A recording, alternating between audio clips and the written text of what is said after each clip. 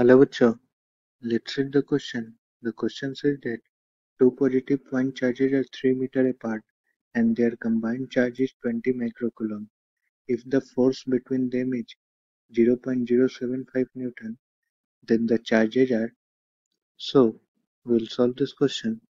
First of all, we'll see what will be the key concept in the question. The key concept in the question will be Coulomb's law.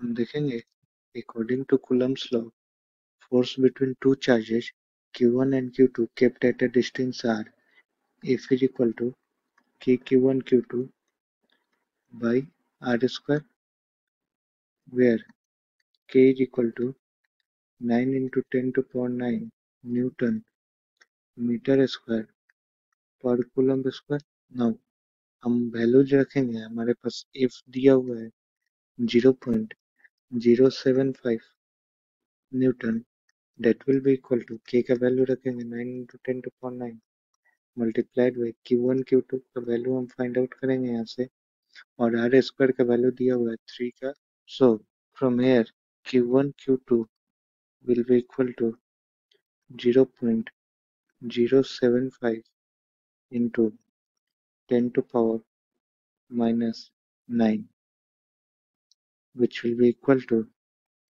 75 into 10 to power minus twelve अब हम देखेंगे, दूसरा चीज़ हमें क्या दिया है? Q1 plus Q2 दिया हुआ है। That is given is 20 microcoulomb Q1 plus Q2 is equal to 20 into 10 to power minus six coulomb और ये कुलम स्क्वायर है। देखेंगे यूनिट से कोलम स्क्वायर है।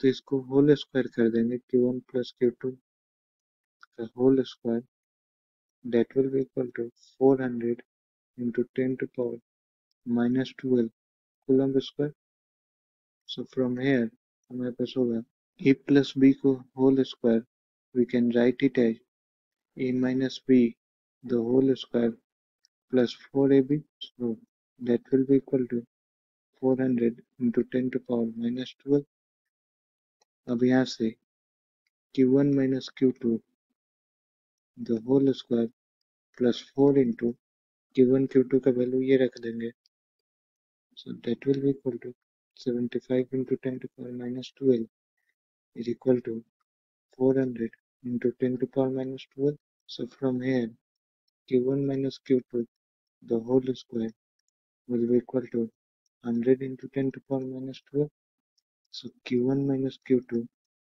will come out to be as 10 into 10 to power minus 6 मतलब 10 microcoulomb अब हम देखेंगे हमारे पास दो इक्वेशन होगा Q1 plus Q2 is equal to 20 microcoulomb and Q1 minus Q2 is equal to 10 microcoulomb. So यहाँ से हमारे पास होगा Q1 is equal to 15 microcoulomb and Q2 is equal to 5 microcoulomb. So the correct option will be option B.